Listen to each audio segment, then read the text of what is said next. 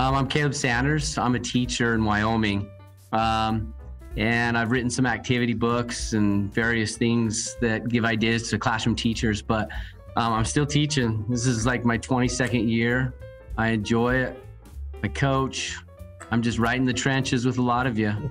It's definitely somewhat new editing PDFs and then annotating PDFs. That that part's not necessarily new. I mean, we had to start annotating PDFs more as a teacher when, um, you know, probably right before COVID a little bit when I started using some other programs where students submitted their work on these programs, and the easiest way to have them submit work or create an assignment was with a PDF. So I'd create a PDF.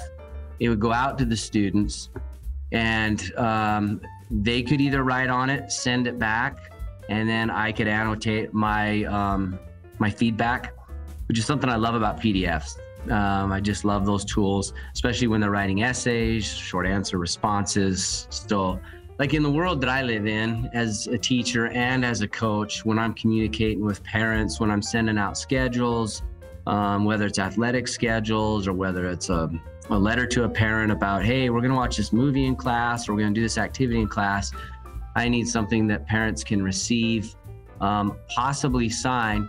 But just let's talk about the receiving part for a second. It seems to be that PDFs are compatible when they go through to a phone. Um, for me, they're compatible than a lot of other documents um, that parents receive through whatever, you know, mobile device or whatever format they're getting it in. So I love that about PDFs because I know that they're going to read it and it's not going to be messed up when they get it. Um, and then the awesome thing about Foxit PDFs is that they have the e-signature, which I have actually used, not a ton, but I have used.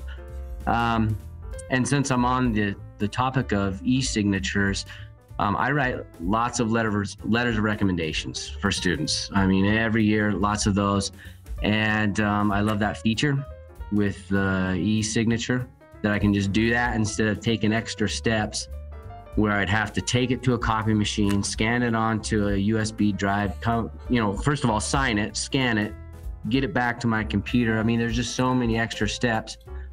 And having the e signature um, cuts out a lot of those steps.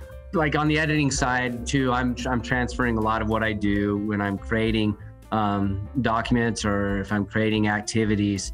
Um, there's a lot more that I can do on the editing side with um, Foxit PDF. So I like that, and I'm still learning it.